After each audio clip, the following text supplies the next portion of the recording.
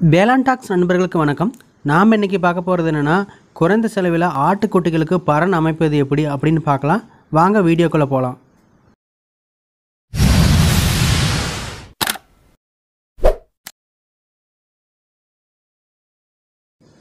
ஆடு வளர்ப்பில் பொதுவாக ரெண்டு வகையான முறை இருக்குது. ஒன்று பார்த்தீங்கன்னா பாரம்பரிய முறை அதாவது மேய்ச்சல் முறை. ரெண்டாவது பார்த்தீங்கன்னா நவீன முறை அதாவது பரன்மேல் ஆடு வளர்ப்பு.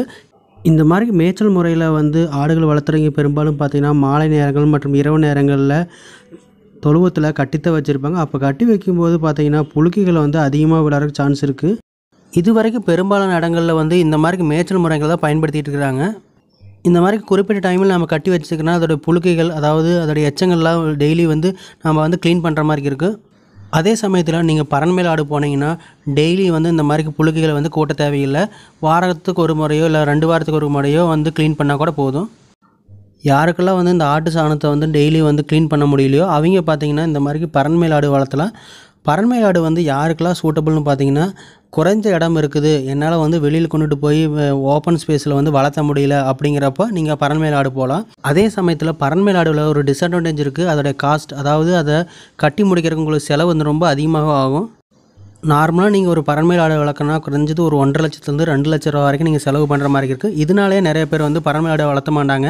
என்ன கேட்டிங்கன்னா நீங்கள் எந்த தொழில் ஆரம்பிச்சிங்க அதிலிருந்து வர்ற லாபத்திலிருந்து தான் வந்து அந்த தொழிலை வந்து பெருக்கணும். அதே மாதிரி தான் நீங்கள் பரன்மேல் ஆடு வளர்க்குறப்பவும் அதிலிருந்து வர்ற அதாவது ஆட்டிலிருந்து வர்ற லாபத்தை வச்சு தான் நீங்கள் பரண் அமைக்கணும். டைரெக்டாக நீங்கள் ஒரு அஞ்சு லட்சம் மூணு லட்சம் இந்த மாதிரி செலவு பண்ணி பரண் அமைச்சிங்கன்னா வந்து ஃபெயிலியர் ஆகிறதுக்கு சான்ஸ் வந்து ரொம்ப அதிகமாக இருக்குது.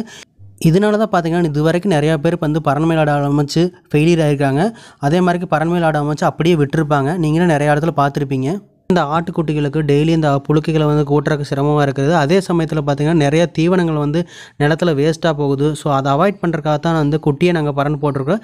எங்கள் வீட்டில் இருக்கிற நாலு ஆட்டுக்குட்டிகளுக்கு நாங்கள் ஒரு பரன் போட்டிருக்கோம். இது எல்லாமே பார்த்தீங்கன்னா எங்கள் வீட்டில் இருக்கிற பொருட்கள் அதாவது பழைய மரங்கள் அதாவது பிளாஸ்டிக் இந்த மாதிரி வச்சு தான் நாங்கள் கட்டிக்கிறோம். அது எப்படின்னு பார்க்கலாம் வாங்க. நீங்கள் இந்த வீடியோவில் பார்க்குறது எல்லாமே எங்கள் வீட்டில் ஒரு பழைய வீட்டுடைய தேவையில்லாத மரப்பொருள்கள் தான். அதாவது இதை மால்னு சொல்லுவாங்க. இது பார்த்தீங்கன்னா ஓட்டு வீடு கடையில் நிறையா பக்கம் போட்டிருப்பீங்க. எல்லாருமே பார்த்துருப்பீங்க அதில் பார்த்தீங்கன்னா நிறையா ஆணி இந்த மாதிரிக்கெலாம் இருக்குது ஸோ அதெல்லாம் நாங்கள் வந்து எடுத்துட்டோம் அதே சமயத்தில் நிறைய இடத்துல வந்து அந்த ஜாயின் பண்ணியிருப்பாங்க. ஸோ அதெல்லாம் வந்து கட் பண்ணி எடுத்துகிட்டு இருக்கிறோம். இந்த மரங்கள் எல்லாமே பார்த்தீங்கன்னா பனைமரத்துடைய மரங்கள் தான். இந்த மாதிரி ஜாயிண்டாக இருந்ததெல்லாம் நாங்கள் தனித்தனியாக பிரித்து முதல்ல எடுத்து வச்சிட்டோம். அடுத்ததாக பிரித்து எடுத்த மரத்தையெல்லாம் பார்த்தீங்கன்னா அடுக்கி வச்சிட்டோம்.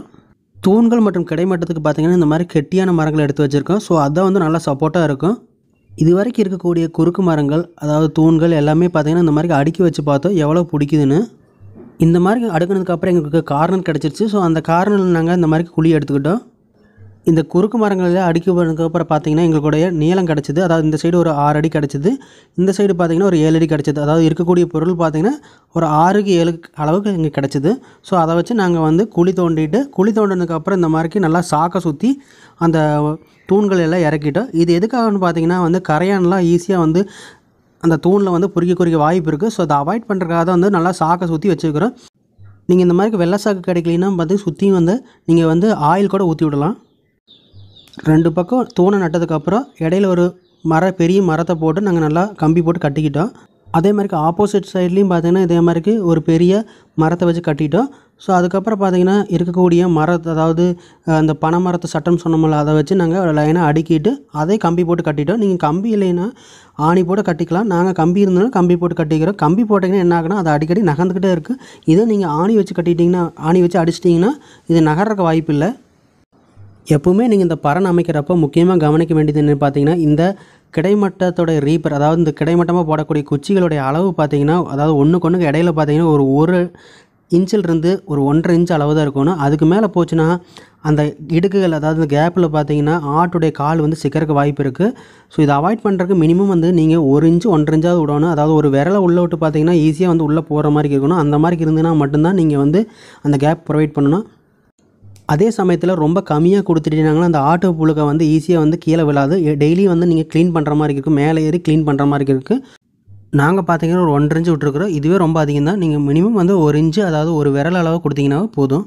அடுத்ததாக இதோட உயரம் பார்த்தீங்கன்னா மினிமம் ஒரு நாலு அடியாவது விடணும். அதாவது நிலத்துலேருந்து ஒரு நாலு அடி உயரத்தில் தான் நீங்கள் பரணம் அமைக்கணும். அப்போ தான் வந்து நீங்கள் உள்ளே போய் ஈஸியாக வந்து கூட்ட முடியும். நாங்கள் ஒரு மூன்று அடி விட்டுருக்குறோம். இந்த மரப்பலகை பார்த்தீங்கன்னா ஒரு அஞ்சடி நீளமுள்ள ஒரு மரப்பலகை. இது பார்த்தீங்கன்னா அந்த பறனுக்கான ஏணி அதாவது மேலே அந்த ஆடு ஏறி போகிறக்கான ஒரு படியாக கூட வச்சுக்கலாம்.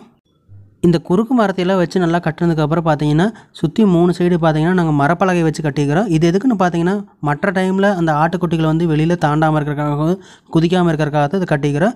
அதே சமயத்தில் மேலே பார்த்தீங்கன்னா ஒரு ரெண்டடி உயரத்தில் வந்து மரத்தை வச்சு கட்டிக்கிறோம். இதுவும் பார்த்தீங்கன்னா ஒரு பாதுகாப்புக்காக தான் இதெல்லாம் கட்டினதுக்கப்புறம் பார்த்தீங்கன்னா அந்த அஞ்சடி நீளமுள்ள மரப்பலகையை வச்சு நிலத்துல வச்சு ஃபிக்ஸ் பண்ணிட்டோம். மேலே பார்த்தீங்கன்னா ஆடாமல் இருக்கிறதுக்காக ஆணி வச்சு அடிச்சிட்டோம். ஃபஸ்ட்டு நாங்கள் இதுக்கு எல்லாமே வந்து கம்பி போட்டு தான் கட்டினோம். ஸோ இது கம்பினால் கொஞ்சம் லூஸ் ஆகிட்டே இருந்தது. ஸோ அதனால் எல்லா ரீப்பருக்குமே பார்த்தீங்கன்னா நாங்கள் இந்த மாதிரி ஆணி வச்சு நல்லா அடிச்சிட்டோம். நீங்கள் ஆணி வச்சு அடிக்கிறதா ரொம்ப நல்லது. ஆணினால தான் வந்து அந்த மரமெல்லாம் ஆடாமல் இருக்குது கம்பி வச்சிங்கன்னா கண்டிப்பாக வந்து லூஸ் ஆயிரும். அடுத்ததாக நாங்கள் பார்த்தீங்கன்னா ஒரு அடி நீளமெல்லாம் நிறையா குச்சிகளை வெட்டி எடுத்துக்கிட்டோம் இது பார்த்திங்கன்னா அந்த மரப்பலகைக்கு ஒரு படிக்கு ஒரு க்ரிப்புக்காக தான் டைரெக்டாக நீங்கள் மரப்பலகை மட்டும் அடிச்சிங்கன்னா அதில் ஆடு போகிறப்போ வழுக்கி விடுறதுக்கு சான்ஸ் இருக்குது ஸோ அதுக்காக வந்து ஒரு படி மாதிரி இருக்கிறதுக்காக தான் இந்த குச்சி வச்சு நாங்கள் அடிச்சுக்கிறோம்.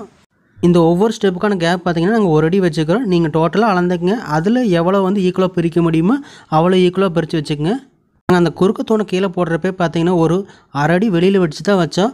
ஸோ அது எதுக்குன்னு பார்த்தீங்கன்னா நீங்கள் இந்த மாதிரிக்கு வெளியில் வச்சு கட்டுறப்போ அதை வெளியில் தலையை விட்டு ஆடு வந்து அந்த தீவனத்தை திங்கிறக்காக தான் போட்டிருக்கிறப்படி ஆட்டுகளுக்கு வந்து தீவனம் வந்து வேஸ்ட்டாக போகாத இருக்கிறக்காக நாங்கள் இந்த பிளாஸ்டிக் ட்ரே யூஸ் பண்ணிக்கிறோம். இது பார்த்திங்கன்னா பழக்கடையில் பழங்கள் வந்து தூக்கறக்கு யூஸ் பண்ணுவாங்க. ஸோ அதை வச்சு நாங்கள் கட்டிட்டோம். அந்த அரை அடி நீளம் வெளியில் நின்றுக்கிறதுல நல்லா வச்சு கட்டிட்டோம். இதுலேயும் நாங்கள் வந்து இந்த மாதிரிக்கு சின்ன சின்ன தீவனங்களை வந்து போட்டோம்னா கீழே சிந்தாமல் இருக்கும். ஸோ அதை நாங்கள் யூஸ் பண்ணிக்கிட்டோம். இந்த பறனை கீழே ஒரு பிளாஸ்டிக் பாய் அல்லது படுத்தாவோ நீங்கள் கீழே போட்டுடலாம் ஒரு வாரத்துக்கு ஒரு முறை அல்லது ரெண்டு வாரத்துக்கு ஒரு முறை எடுத்து நீங்கள் அதை க்ளீன் பண்ணிக்கலாம். நீங்கள் கூட்ட கூட தேவையில்லை. இந்த ஆட்டுக்குட்டிகளுக்கு தேவையான குட்டி பறன் பார்த்தீங்கன்னா எங்கள் வீட்டில் இருக்கிற தேவையில்லாத மரப்பொருட்களை வச்சு தான் முழுக்க முழுக்க கட்டிக்கிறோம்.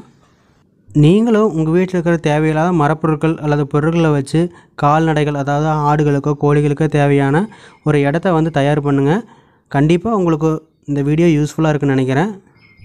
இது போன்ற வீடியோக்களை தொடர்ந்து பார்க்க நமது வேளாண் டாக்ஸ் சேனலை வந்து லைக் பண்ணுங்கள் ஷேர் பண்ணுங்கள் சப்ஸ்கிரைப் பண்ணுங்கள் நன்றி வணக்கம்.